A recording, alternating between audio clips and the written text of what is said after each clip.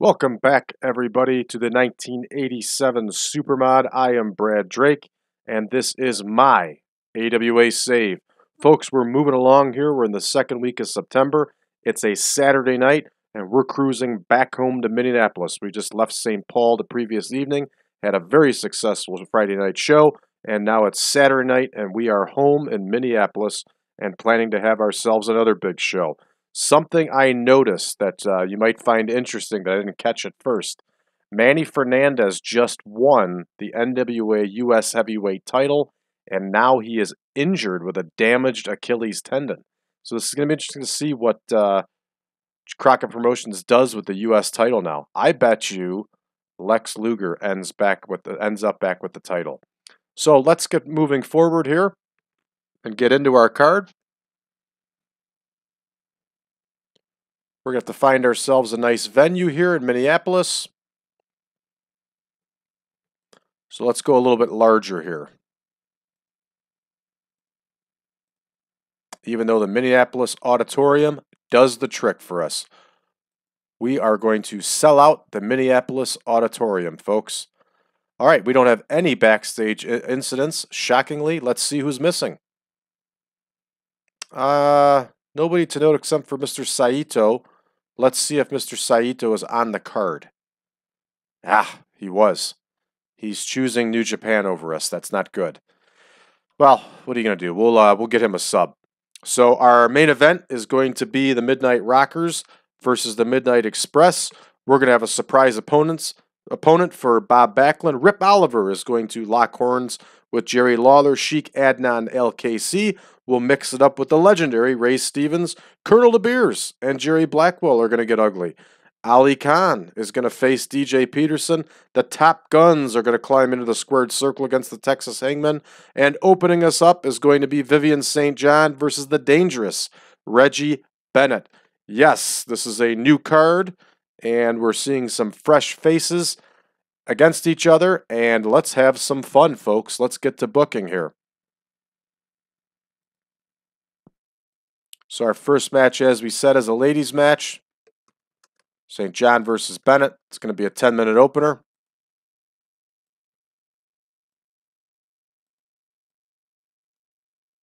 And we're going to let this one rip. I don't uh, I don't mind who wins this one. Next match, as we said, is going to be the Top Guns versus the Texas Hangmen. That's going to be a 12-minute bout. This will be interesting to see. Uh, I'm excited to see both these teams get into the ring against somebody new. They both need the experience against different opponents. And we'll see how it goes. We still have not gotten a manager for the Texas Hangmen, even though we've said repeatedly we're going to. Uh, let's see if I don't pull the trigger on that soon. Maybe we'll par partner uh, pair them up with al-Kaissey like we talked about, but we'll see. All right, Ali Khan is going to battle DJ Peterson.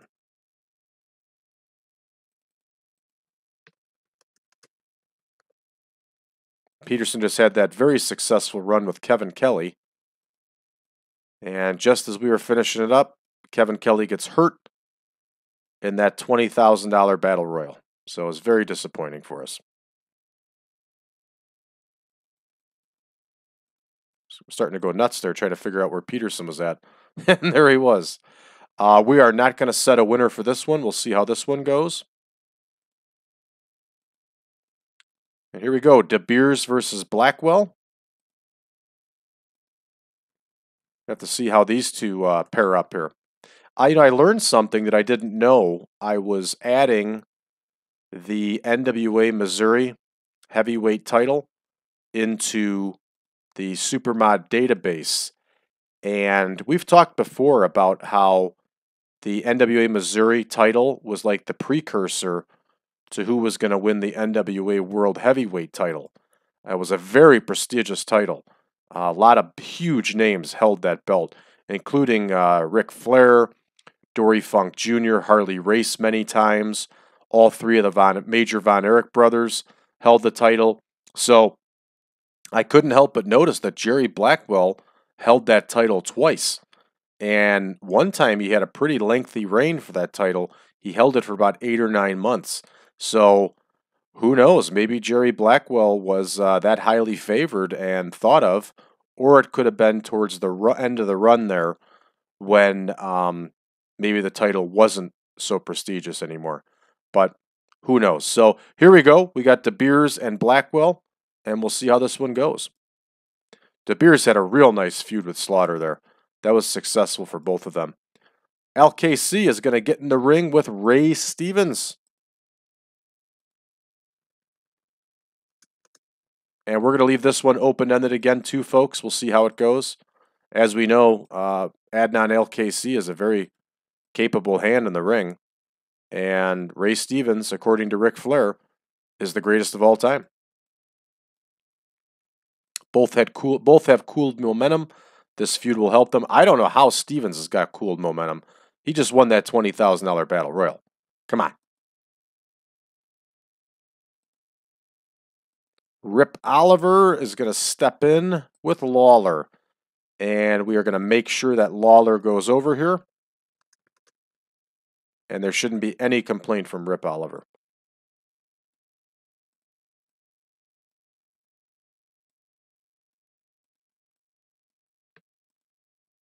I'm not sure how many matches we got left with Lawler. We may have to do that uh, that deal again soon. We'll take a look after we close out this card. All right, who are we going to put in there against Backlund, everybody?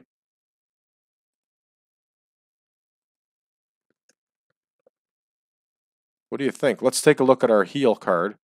You know what? Let's put Sheiky Baby in there. Yeah, let's put Sheiky Baby in there. We'll do another uh, technical match. And these two should get a good score, especially in Minneapolis.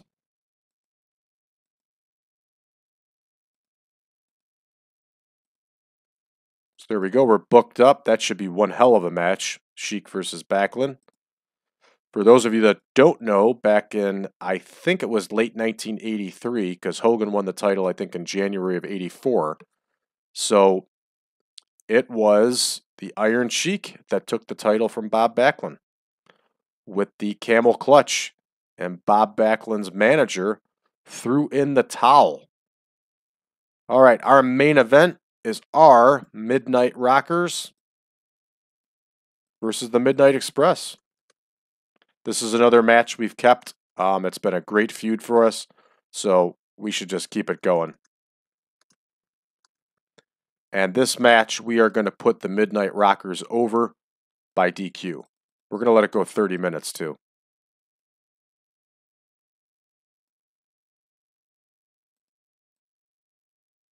There I go again. All I got to do is go right here. I'll learn eventually. You know, the problem is when you're sitting in my position, you're doing this, you're not just playing the game. You're worried about sound quality, you're worried about all these other factors. So you your mind kind of drifts and you just go to basic uh, you know, mechanical routine for your body. so that's why you end up missing out on stuff like this. But uh, it'll get there. I'll continue to improve just like everything else. Let's put Shawn Michaels over. Epic. And we got to make sure to do a DQ here.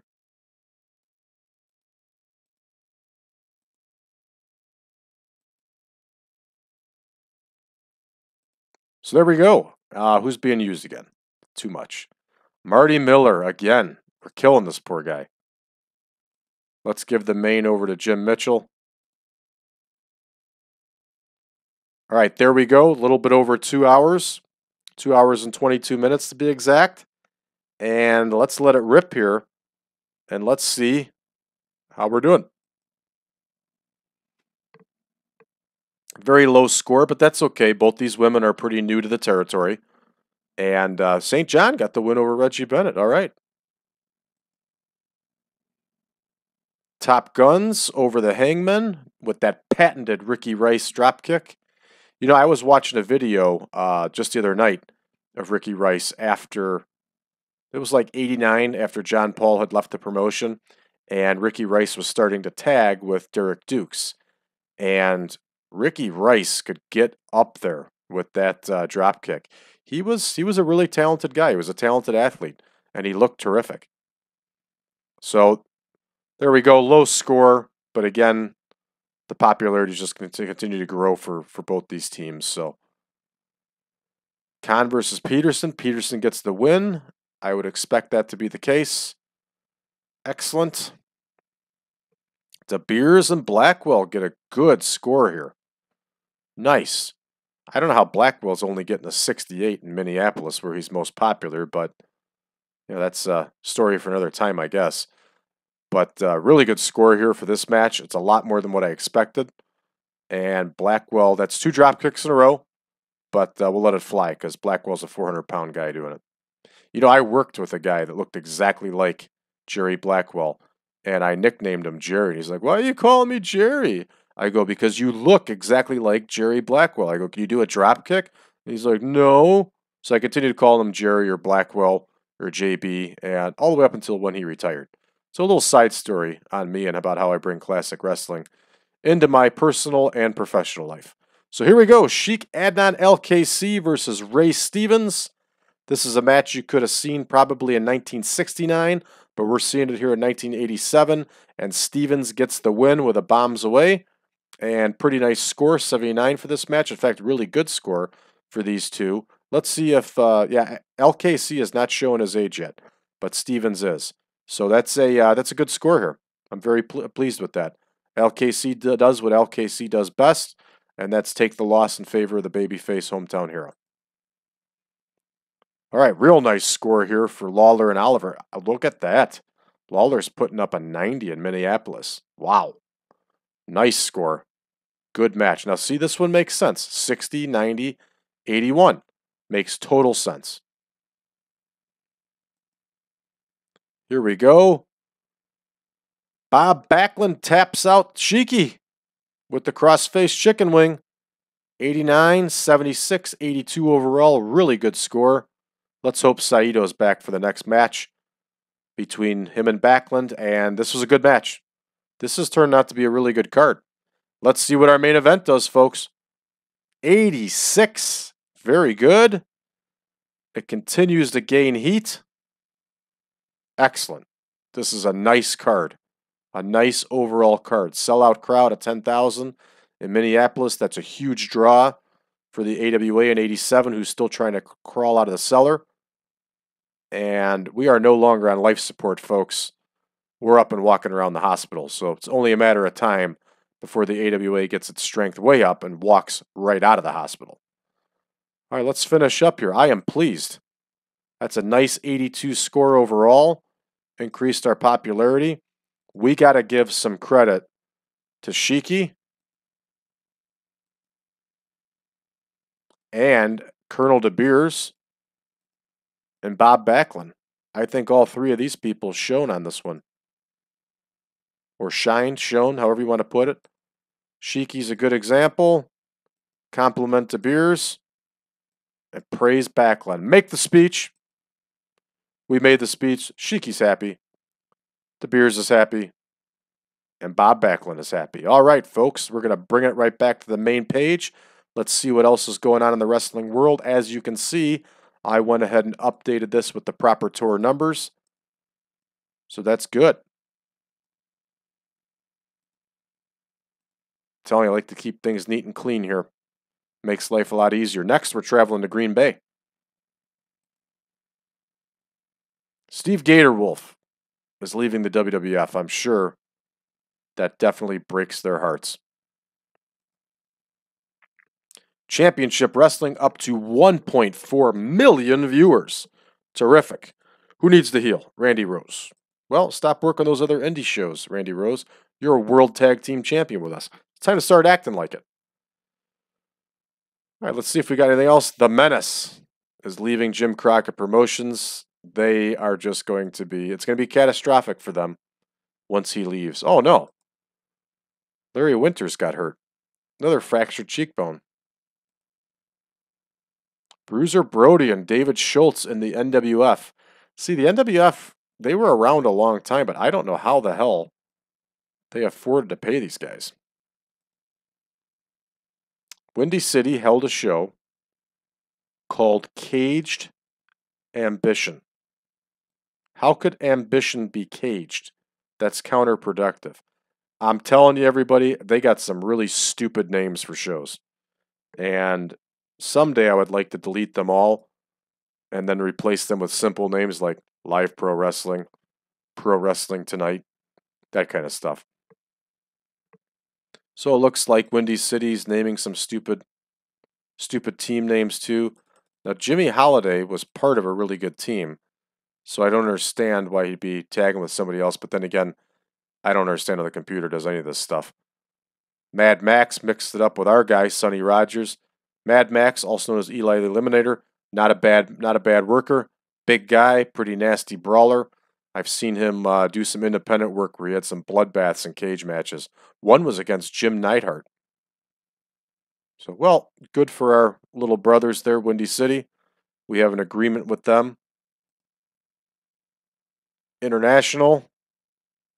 Chris Adams retains the heavyweight title. This is another one that I'm not sure how they're staying afloat. They're probably not. Yeah, they're hurting. They're hurting. Kowalski's hurting. Let's see how National's doing. National's making money. I totally stand corrected.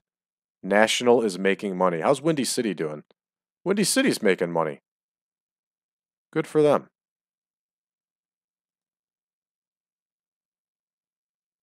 See if there's anything else of note here. Oh, we got a Saturday night's main event. Andre the Giant beats Koko B. Ware. That's totally a uh, Saturday night main event match, no doubt. Another six man. They like their six man six mans. Pretty decent card. Got a 91 overall. They sold out uh, the Ocean Center in Florida. How'd we do on Prism? Steamboat and Hogan beat Volkoff and Roberts. Like I said, it looks like they had Roberts make a heel turn here. Heart Foundation over the Killer Bees. Good stuff. Good match overall. Let's do a title check. See how everybody's doing.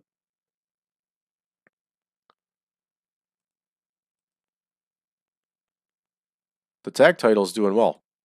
It's got a nice score. Let's see how the women's is doing. Oh yeah, we're up with that feud between Richter and Martel. Uh, I also want to tell you I introduced storylines here. Let's clean this one up. Since I gave it extra space here. But that's the storylines that we added. And in the Von Raschke and Duncum one, we also put Slater and McDaniel, the two guys partners in there too. So we can have some fun with this on television and stuff like that to help it to help it go. Sheik and Robinson got themselves a feud going here. So everything's looking good here, folks. Both our our two main feuds are really hot. So this is good stuff. So all right, folks, I think that uh, closes it out for us for this episode. As usual, if you haven't already, please give us a like. Go ahead and subscribe to this channel. We have a video that comes out every day, okay?